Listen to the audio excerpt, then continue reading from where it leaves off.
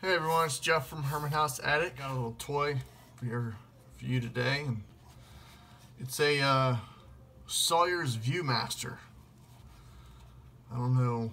I imagine a lot of us had some variation of this as a kid. Um, I think it was it was introduced in the late 30s at the World's Fair in uh, New York. I don't know. I don't know the date on this one. Um, it does have the patent number right there. Um, it doesn't, but that it doesn't have any other kind of markings. So it it still works. It probably could use a little probably could use a little cleaning. Up in the attic were these two these two uh, reels. Um, this one's the Ugly Duckling. This one, this one is the Little Black Sambo, and then it actually had the story with it too. I had one as a kid. Um, growing up in the 80s, though, mine was the red red plastic one, or well, this is plastic too, but mine was the red one. I think that we you see most commonly, but um, so yeah, this one had the, the storybook with it. I don't know.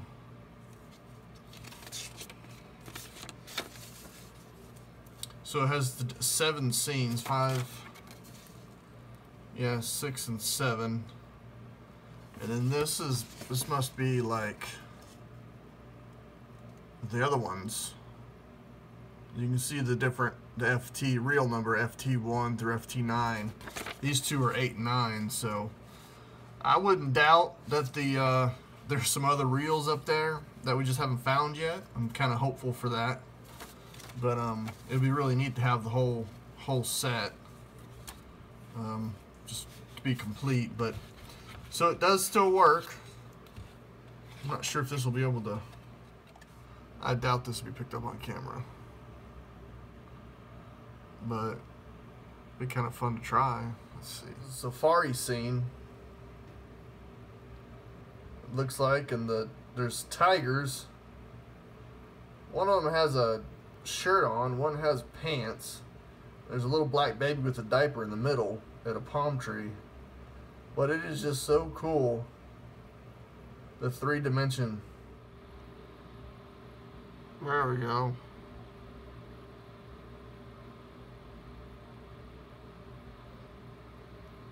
Just super cool. So, found this one up there. Oh, okay. There's so now there's a title of this scene. It's number four. It says he loses all his fine clothes. I guess that's why the tigers have have his clothes. Scene five. The tigers try to eat each other up. Black Jumbo gathers tiger butter. What? Tiger butter. I'm not sure what the heck that is. You know, it's, it's like it's you gotta be treat like a baby. They feast on tiger butter pancakes.